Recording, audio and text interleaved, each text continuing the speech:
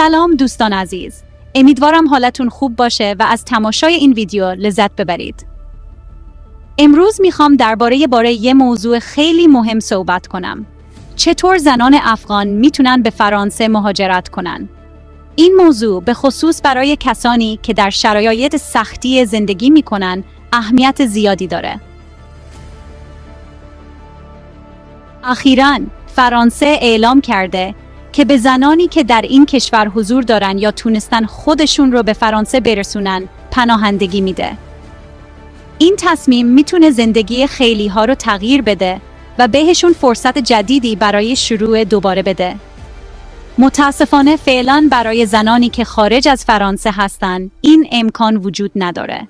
اما این به این معنی نیست که نباید تلاش کنید.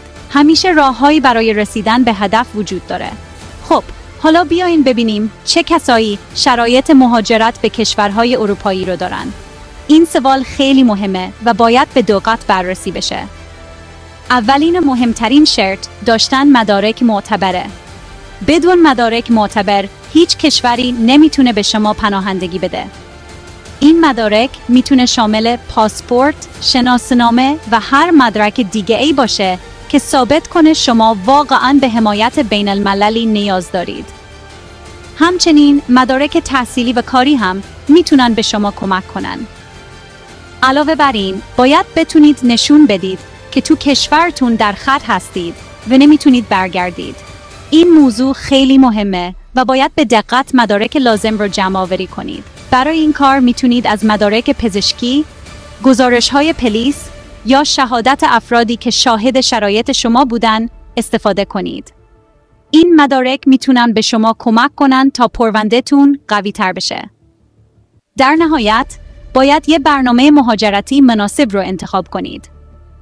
این برنامه باید با شرایط شما و هدفهایی که دارید همخوانی داشته باشه. مثلا می‌تونید درخواست پناهندگی بدید یا از طریق سازمانهای بین المللی مثل سازمان ملل اقدام کنید. هر کدوم از این راهها مزایا و معایب خودشون رو دارن. دوستان عزیز، مهاجرت یه سفر طولانیه که با چالش های زیادی همراهه. این چالش ها می‌تونن از نظر روحی و جسمی خیلی سخت باشن. اما با داشتن اطلاعات درست و برنامه ریزی دقیق می‌تونید این مسیر رو با موفقیت پشت سر بذارید. همیشه به یاد داشته باشید که امید و تلاش می‌تونن شما رو به هدفاتون برسونن.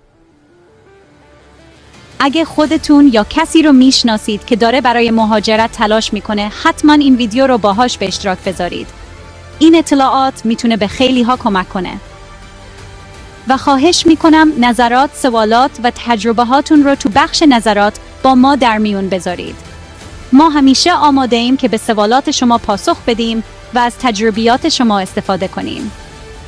تا ویدیوی بعدی. خدا نگهدار. امیدوارم همیشه موافق و پیروز باشید.